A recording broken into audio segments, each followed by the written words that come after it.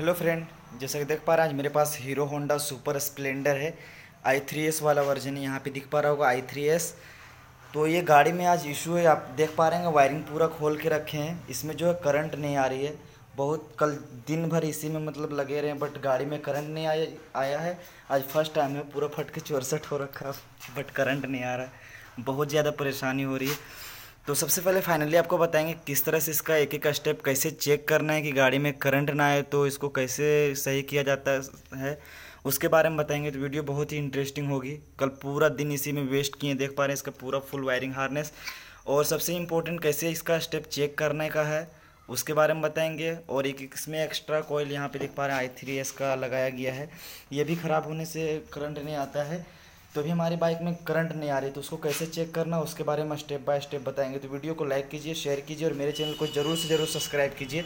तो देख पा रहे हैं यहाँ हॉर्न भी बज रहा है न्यूट्रल लाइट जल रही है और स्टैंड का सेंसर भी वर्क कर रहा है। ये देख पा रहे हैं। तो ये सबसे करंट का कोई लेना देना नहीं है। इसमें गाड़ी में हमारी करंट किस रीज़न से नहीं आ रही है, उसके बारे में बताते हैं।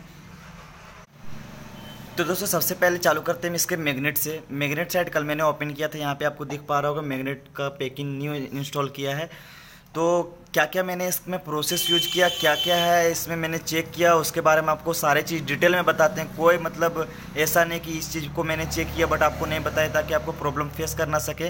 जो जो चीज़ मैंने ओपन किया है और कहाँ से इसका करंट सॉल्व हुआ उसके बारे में बताएँगे। तो सबसे पहले फाइनली इसको मैंने खोल के देखा। बहुत से बार होता है कि इसके अंदर स्टार्टिंग का कोयल नहीं होता नॉर्मल सिर्फ़ लाइटिंग कोयल होती है और एक पिकअप कोयल होता है। तो बहुत बार होता है कि पिकअप कोयल में थोड़ा बहुत भी डस्ट आ जाएगा तो गाड़ी हमारी स्टार्ट नहीं होगी। तो फाइनली इसको मैंने खोला।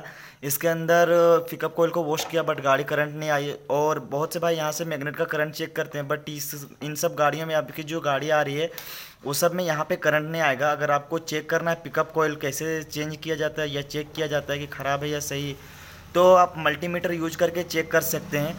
तो फाइनली मैंने जो स्टेप यूज़ किया, बस वही आपको बताएँगे। इधर से हमारा करंट होते हुए जो आता है डायरेक्ट रेक्टिफायर में आता है, इस जगह पे आर आर यूनिट जिसको बोलते हैं चार्जर इसमें चेक करना है। तो सबसे पहले इसको यहाँ से ओपन करना है, इस तरह से।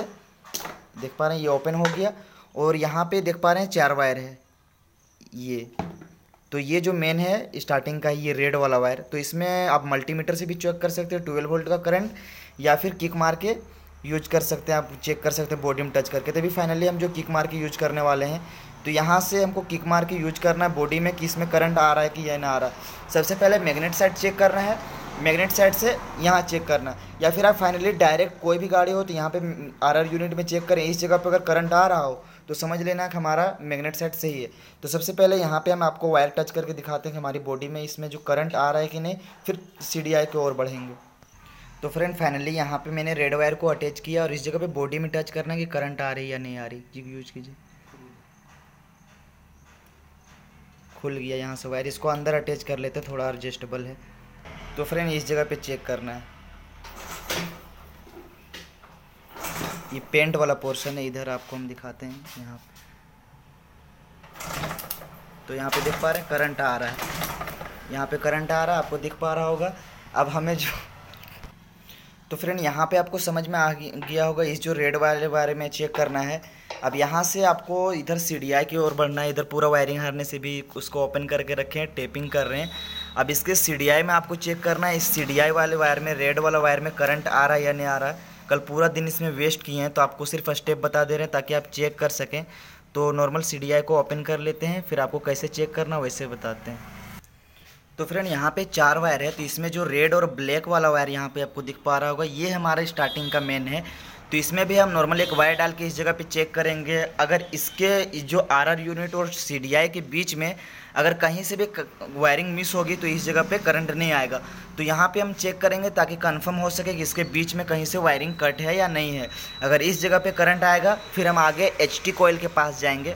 फाइनली इस जगह पे हम चेक करते हैं, फिर आपको हम दिखाते हैं कैसे इसमें करंट आता है या नहीं आता है और आप प्रॉब्लम को कैसे सॉल्व कर सकते हैं। इस सब प्रॉब्लम को करंट का बहुत ज़्यादा इशू आता है आई थ्री एस में। तो दोस्तों, यहाँ पे करंट चेक करना ये रेड और ब्लैक वाले वायर में तो एक चीज़ आपको यहाँ पे बता दें, जो नोटिस करने वाली चीज़ है, इस जगह पे करंट दो रीजन से नहीं आ सकता है। एक तो इधर मैग्नेट से होते हुए आर आर यूनिट के बीच में अगर कहीं से वायर कट हो, फिर भी यहाँ पे करंट नहीं आएगा। दूसरा रीज़न अगर ये हमारा इग्नेशन ख़राब हो, जैसे देख पा रहे हैं, ये चाबी वाला स्विच ये ख़राब होगा जब हमारी गाड़ी में करंट उस जगह पे वायर में नहीं जाएगा, क्योंकि ये जो वायर यहाँ पे दिख पा रहा होगा रेड में ब्लैक है, ये हमारा T C I unit C D I के पास जाता है। ये जो रेड में ब्लैक वाला वायर है और यहाँ पे रेड में ब्लैक वाला वायर है। तो दो रीज़न से यहाँ पे करंट नहीं आएगा। या तो इसके बीच में वायर कट हो या तो हमारा इग्निशन ख़राब हो, जब इस जगह पे करंट नहीं आएगा। तो इस जगह पे हम चेक करते हैं, इसमें हमारा दो चीज़ क्लियर हो जाएगा। या तो हमारा इग्निशन ख़राब इग्निशन तो ख़राब हो ही नहीं सकती क्योंकि हमारा जो इसमें न्यूट्रल लाइट और इसमें बाकी सारा चीज़ आई थ्री एस का फ़ंक्शन वगैरह, सारा चीज़ हॉर्न वगैरह बज रहा है तो इग्निशन का ख़राब होने का कोई चांसेस नहीं। तो सिर्फ़ देखते हैं इसके बीच में कहीं से वायर कट है, या फिर प्रॉपर तरीके से करंट आ जाएगा, जब हम समझ जाएँगे कि इसके बीच में ना वायर कट है, या फिर और कुछ प्रॉब्लम है। तो इस जगह पे चेक करना। पेंट वाले पोर्शन पे आपको चेक नहीं करना है, क्योंकि बहुत से बार होता है कि पेंट वाले पोर्शन पे सही प्रॉपर करंट नहीं बताता है। तो इस जगह पे चेक करना है। यहाँ पे आप ध्यान से देखें। तो देख पा रहा है इस जगह पे करंट हो रही क्योंकि यहाँ स्पार्किंग का दाग लगा हुआ है।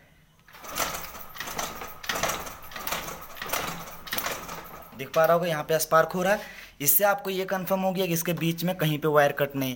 अब हम इसमें जो है सीडीआई यूनिट जो इसका है, इसको असेंबल कर लेते हैं। इसको असेंबल करने के बाद यहाँ पे जो इसको एच टी कोयल बहुत से भाई बोलते हैं, बहुत से भाई बोटल कोयल अब इस वाले वायर में हम चेक करेंगे करंट हमारी आ रही या नहीं आ रही।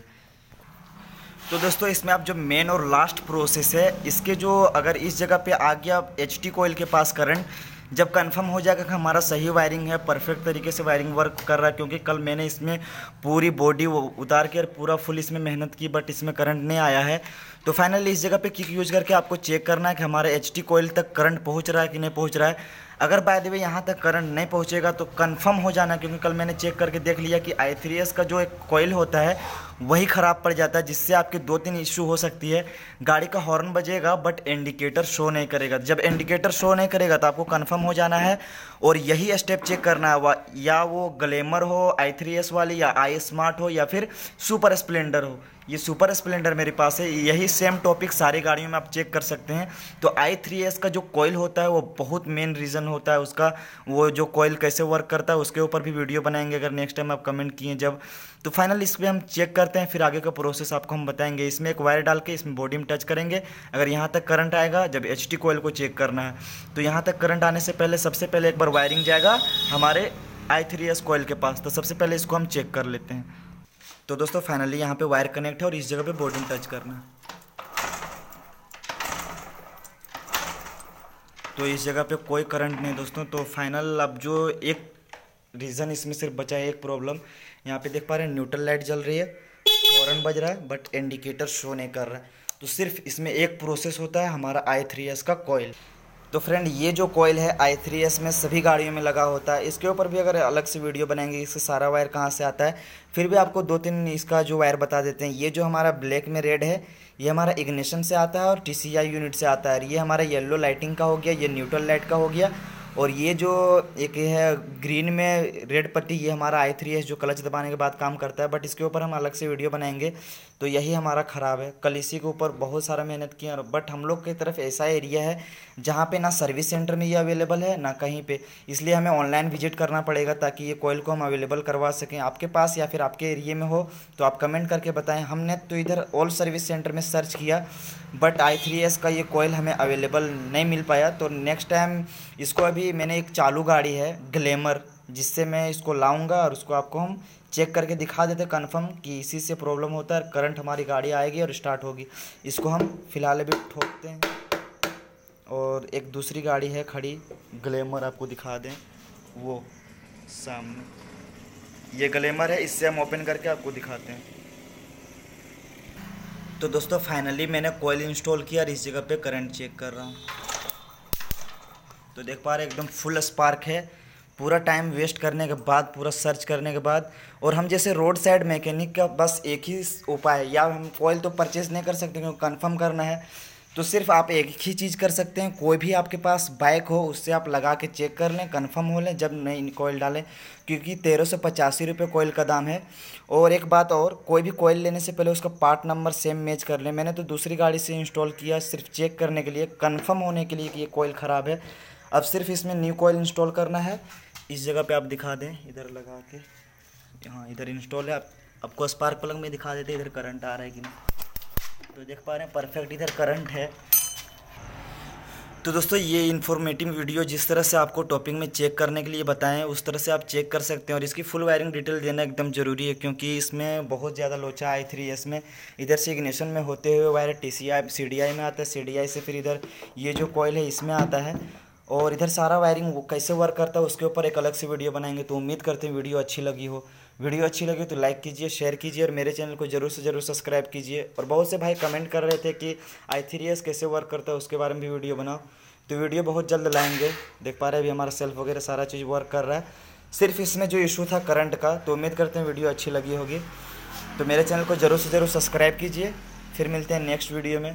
तब तक के लिए थैंक्स फॉर वॉचिंग और कोई भी आपके मन में टॉपिक हो तो आप वीडियो के नीचे कमेंट कर सकते हैं, ताकि उसका वीडियो हम अपलोड कर सकें। ये सुपर स्प्लेंडर थैंक्स